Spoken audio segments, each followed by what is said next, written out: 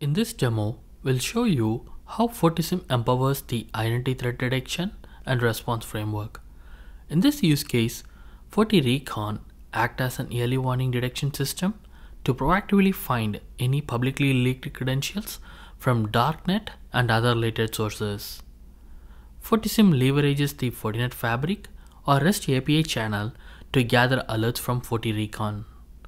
Subsequently, FortiSIEM uses real-time monitoring, event correlation rules, identity location dashboard, and a watch list to identify any potential identity threats.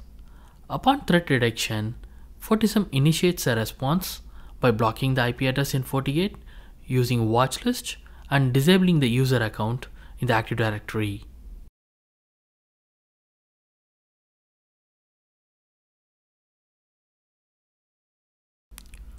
After logging into FortiSIEM and checking the incident tab, search for FortiRecon. I found a corresponding incident which indicates the user Anna's credentials had been leaked. The information available only included user Anna. To gain more visibility, I navigate to dashboard page.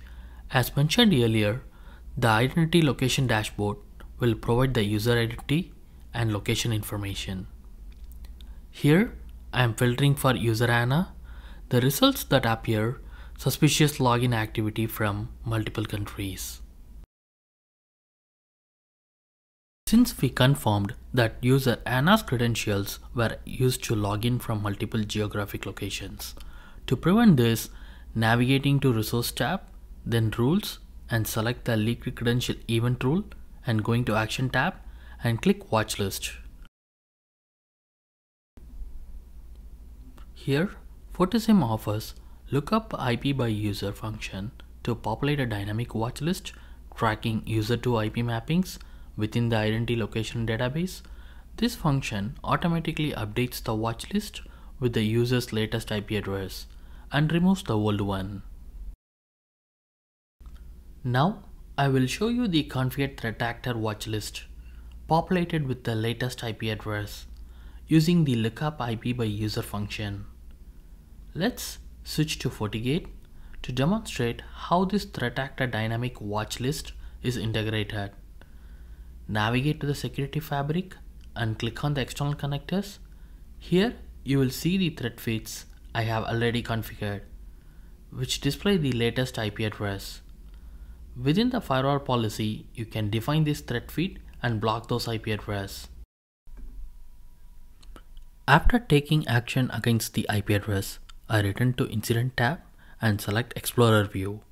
Type in user Anna. Let's take a deeper look at how FortiSIEM correlates events in real time and prioritize the identity risk. We can see two key incidents. Medium incident, VPN logon from outside the defined countries, and a sudden location change for user Anna marked as high severity. To remediate the incident, return to the incident view and click on the FortiRecon alert. Here, you can run a remediation playbook to disable the user account in the Active Directory. This is how FortiSIEM helps in implementing the ITDR framework by offering seamless integration, advanced detection, and efficient response method. Thanks for watching.